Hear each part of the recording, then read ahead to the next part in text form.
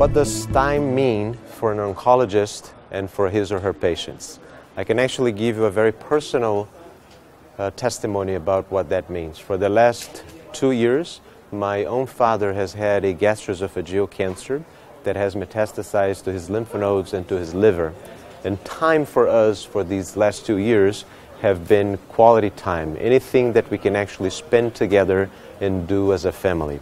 We have been very fortunate that my younger brother had a baby approximately three years ago, and for my dad, I think that the most important meaning of time has been to be able to be with his new grandson for the last two years. It has been to be able to get him every week when my brother drops him off and to be able to actually have him uh, with him and my mom for the weekends when they take care of the baby. So, time for oncologists is the time that we can help our patients gain so that they can have time doing whatever it is that they like to do.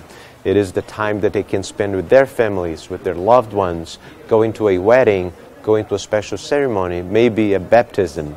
So, time is not what matters to us as physicians, it's what really matters for patients and their families.